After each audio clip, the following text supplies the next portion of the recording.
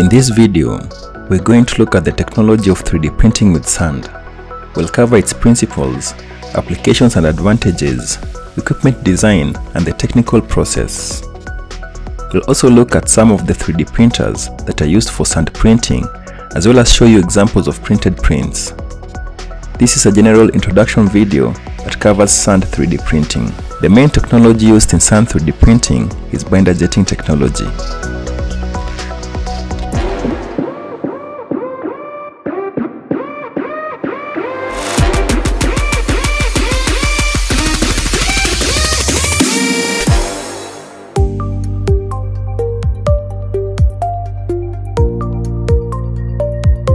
History of sand 3D printing began in the late 1990s with the collaboration of the German company Generis and MIT Z Corporation. MIT developed and patented powder printing technology with the application of a binder. The collaboration between the two companies led to the creation and launch of the first printers in mid-2000s.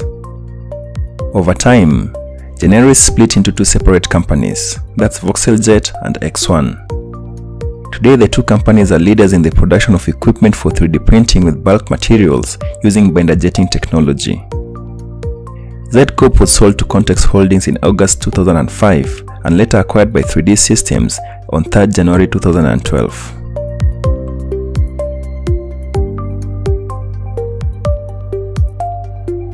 Binder jetting is a 3D printing technology that involves layer by layer application of a binder onto bulk material. Using this technology, you can print with metal powder, gypsum, sand, and many other materials. The technology allows you to print injection molds with sand of any complex geometry at room temperature. The 3D printing sand molds can then be used in casting.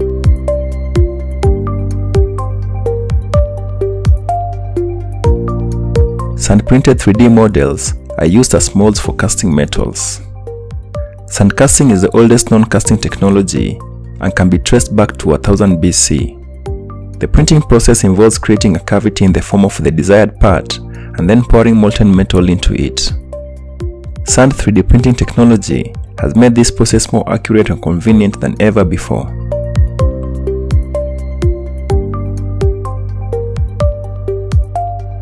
Sand 3D printing begins with placing the first batch of sand in the print chamber and flattening it into a thin layer. Then, the print head of the 3D printer passes over the sand and applies the binder according to the specified layer of the part. Sand that is not involved in the part, that is, the sand on which the binder has not fallen, serves as a support. This means that the part can be of any complex shape. The process is repeated until the part is complete.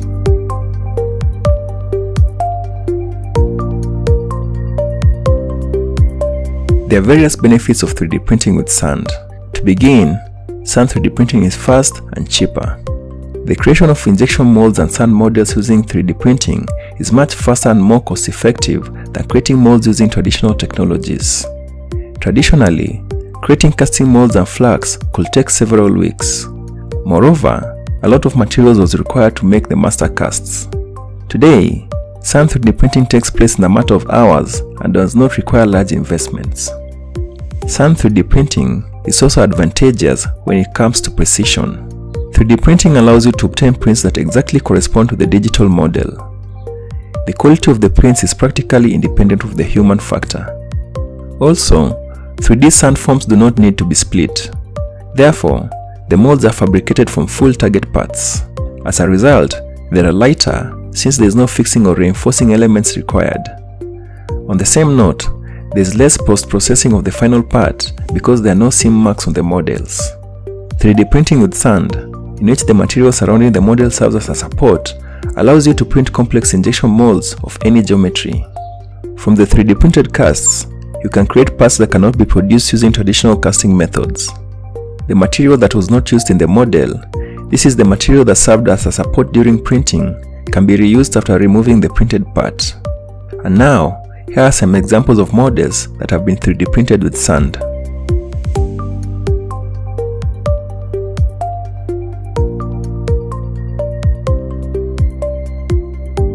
There are various equipment that can be used to 3D print with sand. Some of the most common are the following. This 3D printer for sand printing creates sand models of injection molds with an accuracy of plus or minus 0.3 millimeters. The printer manages a layer thickness of 200 microns and has a print volume of 1500 by 1000 by 700 millimeters. The PCM 2200 3D printer has a print volume of 2200 by 1000 by 800 millimeters. The unit can print with quartz sand, calcined, as well as synthetic and composite materials. Its layer thickness starts from 200 microns. The ExOne S Max Pro prints prototypes and molds from sand with a layer thickness of about 260 microns. This unit has a print chamber that measures 1800 by 1000 by 700 millimeters. The unit also has two chambers that automatically replace each other. Each of the chambers has a capacity of 1260 liters. The ExOne S Print 3D printer has a print chamber of 800 by 500 by 400 millimeters. This unit prints molds with a layer thickness of 240 microns. That is an overview of sand 3D printing.